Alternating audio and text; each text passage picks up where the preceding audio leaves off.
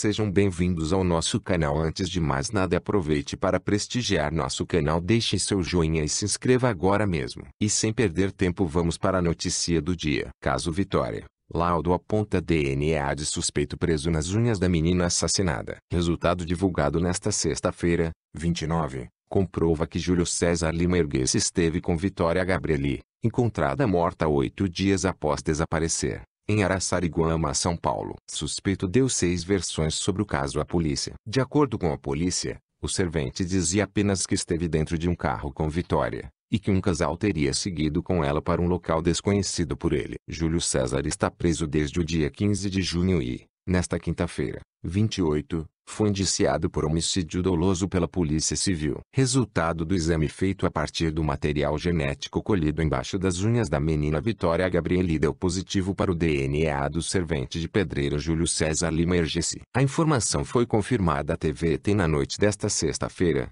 29. E aí, o que você achou? Deixe seu comentário. Obrigado.